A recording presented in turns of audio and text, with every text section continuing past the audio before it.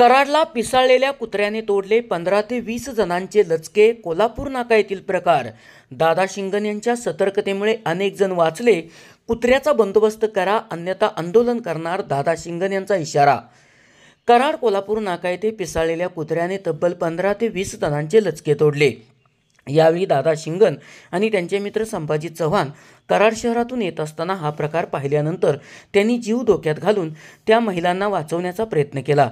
त्यानंतर ते पिसाळलेले कुत्रे डेबेवाडी फाट्याच्या दिशेने पळत सुटले होते. यावेळी लहान मुलांची शाळा सुटलेली होती. त्यांनाही धोका होऊ शकतो यासाठी दादा शिंगण व त्यांच्या मित्राने त्या कुत्र्याचा पाठलाग करून ते कुत्रे चचेगावपर्यंत हकलले. नंतर त्या कुत्र्याने शेतात पलायन केले. त्यानंतर दादा शिंगण यांनी जखमी महिला व पुरुष यांना कराडच्या कॉटेज रुग्णालयात उपचारार्थ दाखल केले. दादा शिंगण यांच्या सतर्कतेमुळे पिसाळलेल्या कुत्र्याच्या चाव्यापासून अनेक जण वाचले. एस पी ओरिजिनेटिव्हसाठी सुनील परीट कराड.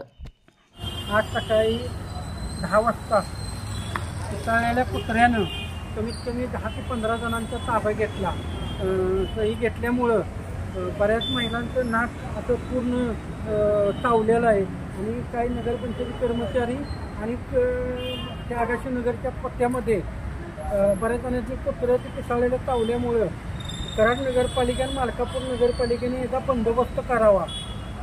आणि नाहीतर आंदोलन करण्यात येईल. आम्हाला जेवढं कोल्हापूर नाका ते आम्ही तसेगाव हद्दीपर्यंत पळत त्या कुत्र्याला ताण ताणता जेवढं ताणता येईल तेवढं ताणलेलं आहे.